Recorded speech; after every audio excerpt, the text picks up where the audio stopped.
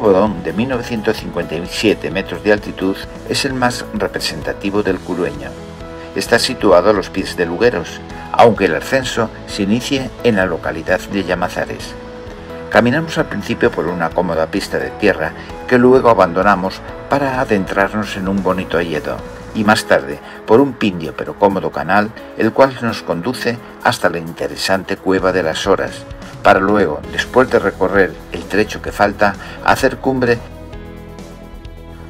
El regreso lo hacemos por un interesante cresterío, el cual, en sucesivas subidas y bajadas, nos sitúa en el collado de Valverde, desde donde, en un vertiginoso descenso, en parte por Alledo, nos dirige de nuevo a la localidad de Llamazares.